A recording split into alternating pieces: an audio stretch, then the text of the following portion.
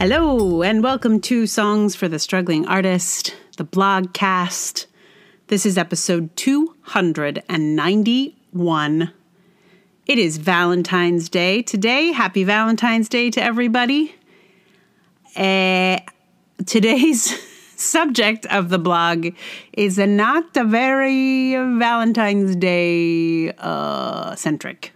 But, you know, I don't aim for a kind of um, temporal accuracy. Because, in fact, podcasts don't really happen on the day, right? Very few people listen on the day the podcast is released. Um, you know, some some podcasts you hear months after, years after. So in another, you know, few hours, it won't be Valentine's Day anymore. And in fact, it's fairly likely that by the time I get this into the RSS feed, it it will not even be Valentine's Day anymore. So this blog is actually, in fact, already dated. I wrote it uh, in late December, early January. Came out mid January. It, it, things have already shifted again. So this is a much earlier pessimistic experience, and it is called thrashing acceptance. As winter approached, I freaked out a little. The idea that we were looking down the barrel of a third pandemic winter just zorked my feelings up. Yes, I know that's not a real word. I had to make one up. That's how zorked up my feelings were. I wanted to run, but there was nowhere to run to. The pandemic is freaking everywhere. You can't escape it. It's better in some places, a lot better. But those places sure as hell don't want my New York ass in their uncovidy environs. I had a couple of panic attacks. I freaked out. A friend who called to check on me got an unexpected sobber on the phone. It was a rough couple of weeks. But somehow, I turned some kind of corner. Despite everything being very bad and some things even worse than I could have imagined, I'm in a state of what I can only call thrashing acceptance. That is, I have accepted that this is my reality, and with that acceptance is a kind of peace. Simultaneously, I hate it. It makes me furious, and I occasionally have to flail my limbs around. That's the thrashing part. It is a full body response. I had some plans to get out of here. They're pretty much shot. So much for getting out of here. And now is not the time to find that indoor swimming pool I was hoping to find. I accept it. I am at peace with the truth. And sometimes I just need to shout and throw things. It's horrible. It doesn't feel good. But I'm going on as if it's all fine, even though it isn't. It is what it is. And ah! That's thrashing acceptance. It's like I'm a shark, right? And some aquarium captures me out in the ocean, and I thrash and I thrash in their net, trying to escape. And then at a certain point, I just get tired and take a break from thrashing. Then they put me in the tank in the aquarium, and sometimes I swim around peacefully, and sometimes I just thrash around for no particular reason because I may not be in a net anymore, but I'm still trapped, really. And I can swim peacefully, but sometimes I just have to thrash it out. It's like that. I can't stop this pandemic. It's continuing to happen, whatever I do. I am told we are turning a corner, but at the same time, every day, multiple people I know get a positive diagnosis. There may be hope. I hope there's hope, but it currently still stinks. And it stinks even more because we're basically on our own out here. No one will make the hard calls, so all the schools and all the restaurants and a lot of shows are still open, but there's this shadow closure that's happening, where shows are closing, Performing artists and all the people who work to make the performing arts run are losing their jobs, having gigs canceled, or just no audiences. Restaurants are going out of business, and schools have to limp along without their necessary staff. There's no relief to be had for anyone because everyone is expected to still be out there pulling themselves up by their bootstraps and toughing it out. People are having to make hard calls all on their own every day, and it is painful to watch this car crash in slow motion. Most people I know are just planning for when they get Omicron, not for if. We're not locked in the apartment this year, but maybe we should be? Hospitals have been stretched thin again. This is all very, very, very screwed up. I'm making peace with it, but it is a very noisy, very thrashy piece. I don't have much more to say about it, I guess. I just thought I should share the concept with you in case any of you are in a similar state. Sometimes it feels good to have language for accepting what one cannot change, but still having feelings about it. Thrashing acceptance is my new way. I'm definitely thrashing a whole lot less now than I was. Uh, maybe accepting more and thrashing less, although I certainly have my thrashing moments. and uh, yeah, I mean, things are definitely looking up in terms of our numbers here. It's less dire than it was. Um, so I'm going to actually see other humans soon. It's better. It's definitely better. But I still feel in my soul the thrash for sure. So, song today, I'm really excited to share this song with you because uh, here on Valentine's Day, what we're doing is um, we're having some sushi and uh, we're recording a song together. Um, so you'll get not just me this time, but me and my fella. And um, the song is uh, Morphine's Sharks. And I did not plan this as a Valentine's Day extravaganza, but I was interested in doing this song. And it is, um, it's just not built for a single girl and a ukulele or guitar. Um, it needs, like, you know, some musicianship which I am adjacent to right here. So um, Scott very sweetly agreed to uh, play the song with me. And mostly he's playing the song, and I'm doing the vocals, which is so fun. Anyway, we haven't recorded it yet. It is in process as I record this. We're just taking a break, uh, but it's gonna. I'm gonna play it for you in just a moment. Whatever it is, it's gonna be fun, though. I'm gonna tell you. That'll be coming up in just a minute. Meanwhile, thank you so much for listening to this thrashing blogcast. If you liked it, please tell someone about it, share it on the social medias, subscribe, review, all the things. Uh, if you'd like to support the podcast, you may uh, join Patreon, patreon.com slash Emily R. Davis. There's also Ko-fi. There's PayPal. I'm also fundraising for the second season of the dragoning. That link is also in the show notes. So, coming up here is Sharks by Morphine, uh, performed by me and Scott, mostly Scott.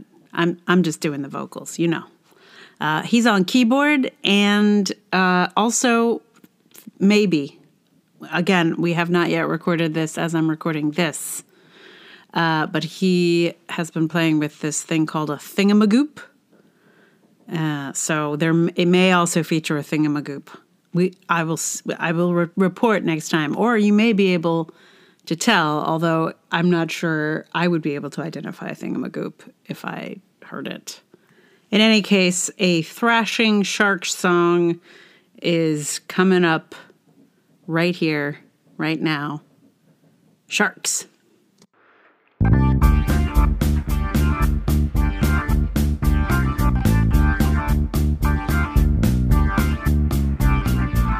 Sharks patrol these waters. Sharks patrol these waters. Don't let your fingers dangle in the water. And don't you worry about the Dayglow Orange Life Preserver. It won't save you. It won't save you. Swim for the shores just as fast as you're able. Swim like a motherfucker. Swim.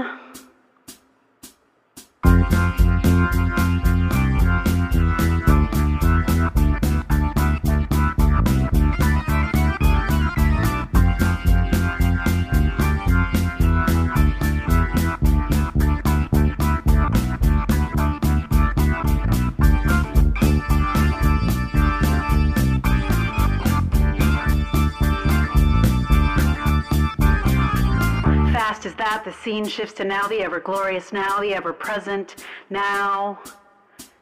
Drenched in flour and deep fat fried and cooled on paper towels and then devoured.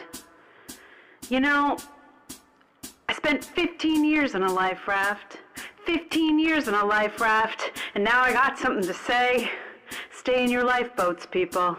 Stay in your lifeboats, people. It's murder out there. It's murder out there. Sharks patrol these waters. Sharks patrol these waters. Hey! Don't you worry about the Dayglow Orange Life Preserver. It won't save you. It won't save you. Swim for the shores just as fast as you're able. Swim.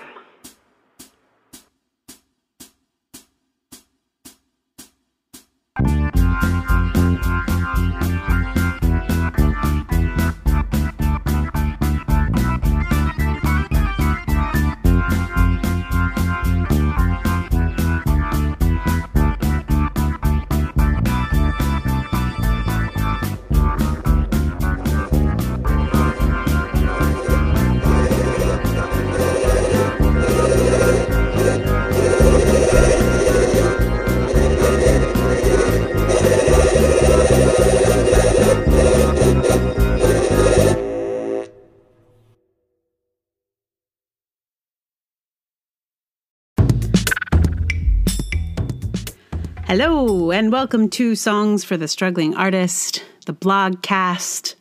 This is episode 291. It is Valentine's Day today. Happy Valentine's Day to everybody. Uh, today's subject of the blog is not a very Valentine's Day uh, centric. But, you know, I don't aim for a kind of. Um, temporal accuracy. Because in fact, podcasts don't really happen on the day, right? Very few people listen on the day the podcast is released. Um, you know, some some podcasts you hear months after, years after. So in another, you know, few hours, it won't be Valentine's Day anymore. And in fact, it's fairly likely that by the time I get this into the RSS feed, it, it will not even be Valentine's Day anymore. So, this blog is actually, in fact, already dated. I wrote it uh, in late December, early January. Came out mid January. It, it, things have already shifted again. So this is a much earlier pessimistic experience, and it is called Thrashing Acceptance. As winter approached, I freaked out a little. The idea that we were looking down the barrel of a third pandemic winter just zorked my feelings up. Yes, I know that's not a real word. I had to make one up. That's how zorked up my feelings were. I wanted to run, but there was nowhere to run to. The pandemic is freaking everywhere. You can't escape it. It's better in some places, a lot better. But those places sure as hell don't want my New York ass in their uncovidy environs. I had a couple of panic attacks. I freaked out. A friend who called to check on me got an unexpected sobber on the phone. It was a rough couple of weeks. But somehow, I turned some kind of corner. Despite everything being very bad and some things even worse than I could have imagined, I'm in a state of what I can only call thrashing acceptance.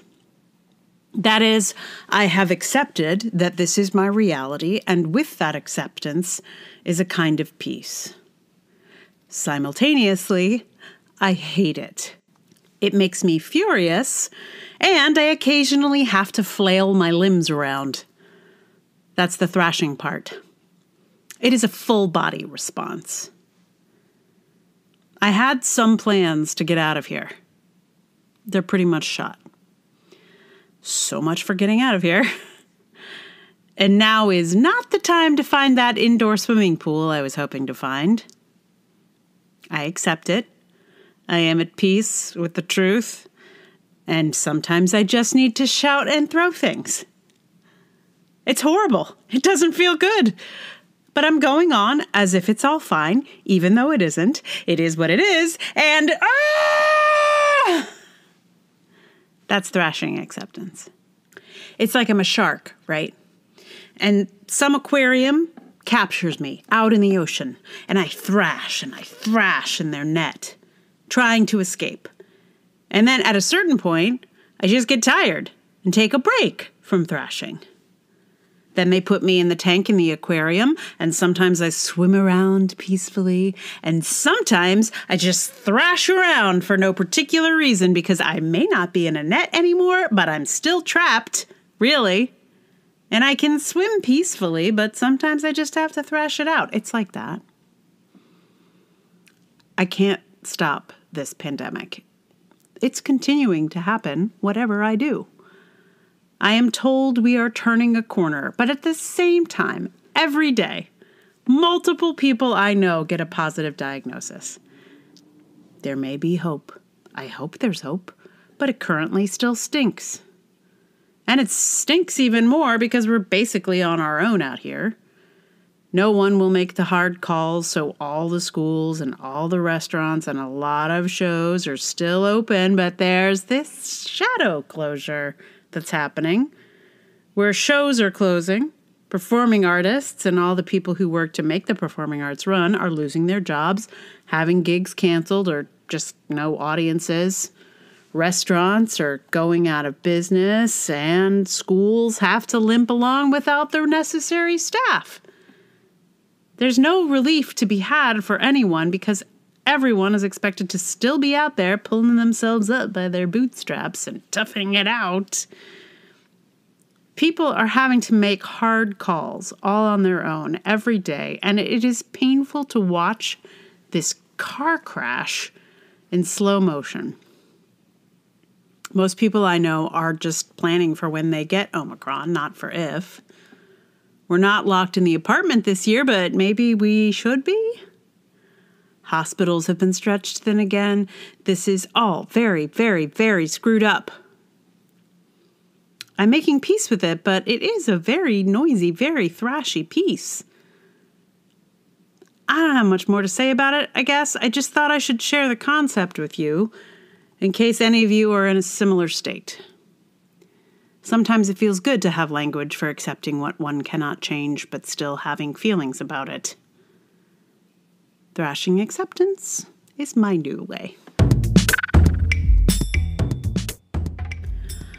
I'm definitely thrashing a whole lot less now than I was.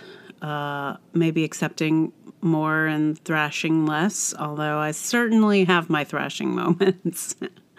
And uh, yeah, I mean, things are definitely looking up in terms of our numbers here. It's less dire than it was. Um, so I'm going to actually see other humans soon. It's better. It's definitely better. But I still feel in my soul the thrash for sure. So, song today, I'm really excited to share this song with you because uh, here on Valentine's Day, what we're doing is um, we're having some sushi and uh, we're recording a song together. Um, so you'll get not just me this time, but me and my fella.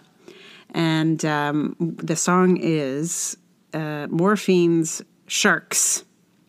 And I did not plan this as a Valentine's Day extravaganza, but I was interested in doing this song and it is um, it's just not built for a single girl and a ukulele or guitar. Um, it needs like you know some musicianship, which I I'm adjacent to right here. So um, Scott very sweetly agreed to uh, play the song with me. And mostly he's playing the song, and I'm doing the vocals, which is so fun. Anyway, we haven't recorded it yet. It is in process as I record this. We're just taking a break, uh, but it's gonna. I'm gonna play it for you in just a moment. Whatever it is, it's gonna be fun, though. I'm gonna tell you. That'll be coming up in just a minute. Meanwhile, thank you so much for listening to this thrashing blogcast. If you liked it, please tell someone about it, share it on the social medias, subscribe, review, all the things. Uh, if you'd like to support the podcast, you may uh, join Patreon, patreon.com slash Emily R. Davis. There's also Ko-fi. There's PayPal. I'm also fundraising for the second season of The Dragoning. That link is also in the show notes. So, coming up here is Sharks by Morphine, uh, performed by me and Scott, mostly Scott. I'm, I'm just doing the vocals, you know. Uh, he's on keyboard and uh, also maybe again we have not yet recorded this as i'm recording this uh, but he has been playing with this thing called a thingamagoop. Uh, so there, it may also feature a thingamagoop. We, I will, I will re- report next time, or you may be able to tell. Although I'm not sure I would be able to identify a thingamagoop if I heard it. In any case, a thrashing shark song is coming up right here, right now. Sharks.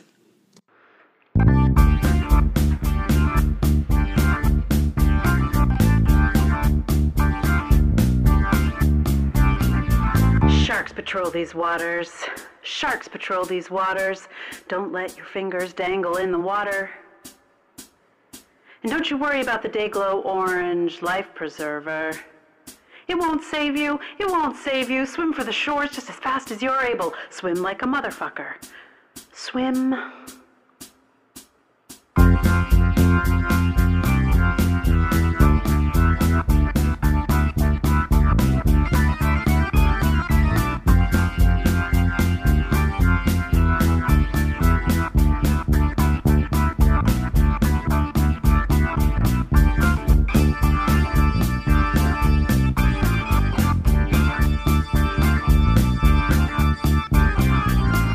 Fast as that, the scene shifts to now, the ever glorious now, the ever present now. Drenched in flour and deep fat fried and cooled on paper towels and then devoured. You know, I spent 15 years in a life raft. 15 years in a life raft, and now I got something to say. Stay in your lifeboats, people. Stay in your lifeboats, people.